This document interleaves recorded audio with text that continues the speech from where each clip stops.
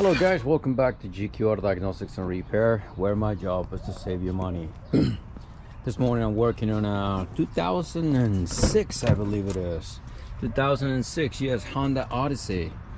It is a six cylinder. I believe it's a 3.5 automatic front wheel drive. And the reason it's here with me is because uh, the blower motor is not working for the front air conditioning okay? So it's there. And the back blower the rear mo blower motor is working. You can probably hear it there. You can see it's working but the front one oh no that's uh, I'm sorry that is the temperature on this one. That's for the front one you can see how that changed and I was doing nothing. All right so on this situation a couple things can be the the reason. One could be the fuse. However everything else is working so I will at this moment will rule out the fuse. At this moment okay? So the off work I put the fan on come on the rear fan it works right away. So next thing can be it could be the control yeah but we're gonna leave that for last. Next thing that we're gonna do here we're gonna go here underneath. I believe it's where the blower motor is. And we're gonna look at it. Same time if it's the original blower motor it could be just the age of the vehicle or the part that it just give in give up uh oh. Let's see here. There it is. Okay. So, well, we're gonna do one thing that, all, you know, sometimes works, sometimes doesn't. We wanna tap it. If it works, then we know it is the blow motor itself.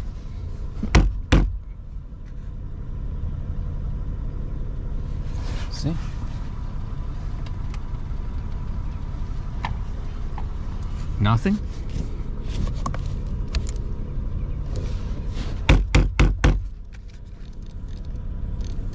Hmm. All right then, so doesn't look like the blow motor itself is the issue here. We're gonna disc, wow, it's not working. But it's no because the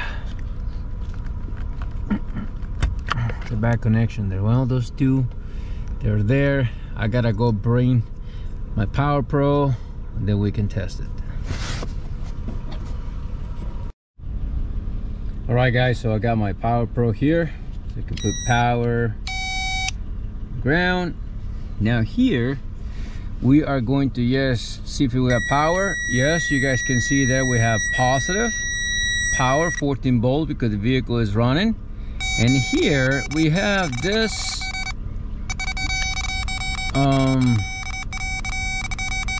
ground is fluctuating which is sometimes can be normal but here is full blast. So let's see.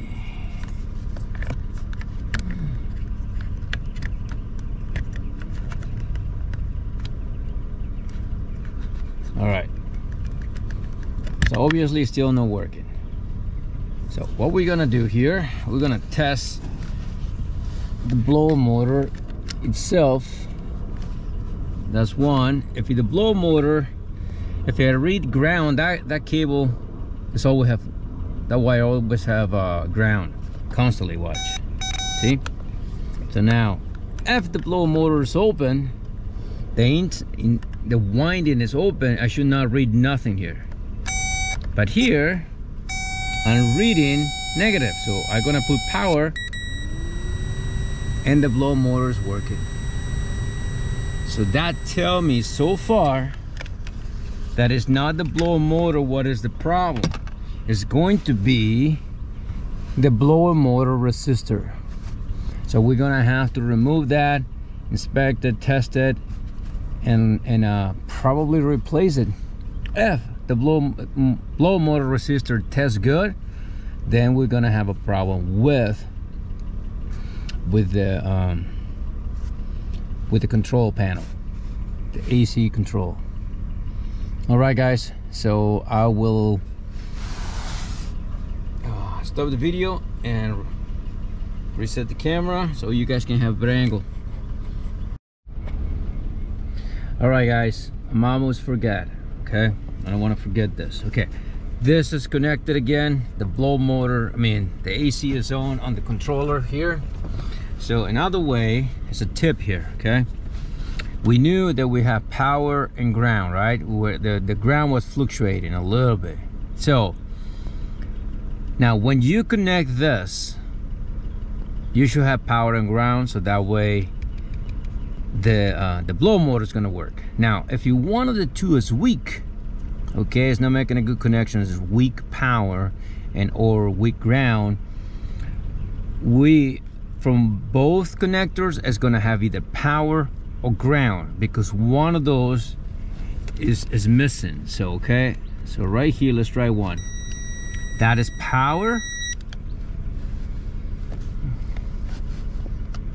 And the other one is power as well. So that means the ground is bad. So let me move the camera here. That's one that is in the other one.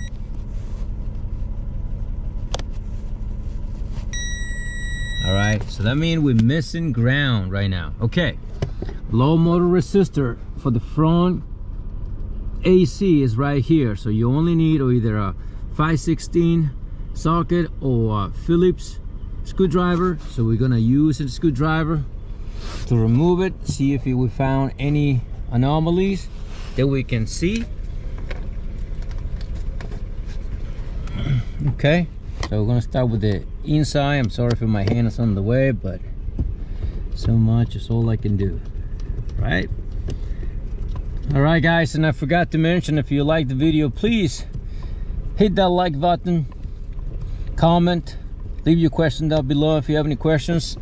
And uh, the most important please subscribe to the channel if you haven't done it already. Right, that would really help me out to keep going taking the time with the videos and edit it much as I can and trying to do a good job because this YouTube uploading thing it takes time. I never realized how much time it takes. All depend how good your videos you want the videos to be. Okay so far this one obviously doesn't look nothing bad. Uh, disconnected. The connection itself looks okay. Ha but look at that. Right there it's burned right there. It's cracked and it's burned so I'm gonna call this the problem on this vehicle. So we're gonna replace this part and we are going to confirm or fix. All right so that way we can just uh, call it good. All right so what we're gonna do here just as a test. This cable right here that one is a blue with black. And the one it goes right here into the blow motor. Come on. Is blue with black. So that should be the ground. Okay? Because to control the speed of the blow motor that's power. That's coming from the white and blue. The vehicle the computer or the controller is gonna control the ground. So that's what's gonna happen. Now watch this. If i'm correct i'm gonna put the ground out of my power pro into that blue cable right here which just happened to be this one. If i'm doing it right if the cable is good we shall have ground right there which is right there. All right so then that tells us that this cable right here the wire the connection here it is good. It is not damaged. It's not the wire here. So what we're gonna do to test it here we're gonna grab the blue one which is this corner right here and we are gonna put ground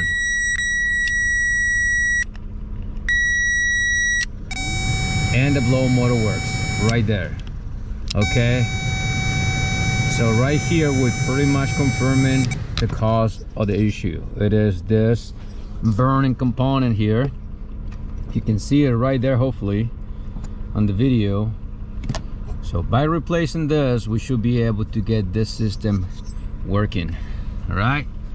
So again so far i'm gonna order the part and i will continue the video so you guys can see this repair. All right guys i'm back. I got the part. So this is the part number that i'm that i'm using here. All right resistor. Now again i am not getting a sponsor or pay or anything by Duralast or any uh, AutoZone. It's just the part that i'm actually using so that's it. All right? So just big disclaimer there. I'm not a sponsor nobody. I'm not being sponsored by anybody. Okay? So obviously this is a new part. Very quick this is uh the uh, the blow motors connector here. I think you guys can see it. The connection is here. It's installed. What I'm gonna do just a quick uh, test I'm going to connect this right here. No but the first thing before I forget I don't know why the other one uh, got damaged. Could have been just old H you know the H of the vehicle. But I'm going to here you can probably see that this terminal is a little bit open at least to me it looks like that so I'm gonna close a little bit those uh, that terminal so that can be a, a, a tight fit. Because when you have like a loose terminal they can create extra heat and can damage uh, the new par prematurely. So that's what we're gonna do. Just to increase the life of the new part. Anyhow so there is. If you see this terminal melted replace it.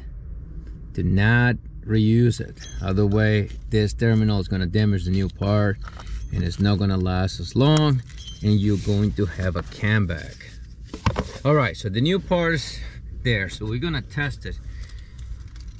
I'm gonna turn the ignition on and if the blower motor works, we're gonna turn it off right away because this part, this fans, are cooled down with the air of the blow motor. If there's no air, this will overheat and it will stop working. There you go, it's working. You can hear it right there. Okay, great. So let me turn it off. Boom okay right here we have confirm or repair right? So we're gonna reinstall it. There's the two bolts that you saw me removing. So okay. This uh, all goes like this. This pointy part goes towards the driver's side. This flat part goes to the passenger side other way one fit. Or very easy the clip retainer goes to the top 12 o'clock whatever make it easy for you to remember that's great you know. So we're gonna reinstall this and the customer should be very happy because now they're gonna have AC again. And right now today it's around 100 maybe a little bit more than 100 degrees. So they're really gonna be happy. And they're saving a bunch of money that's great. That's the best part.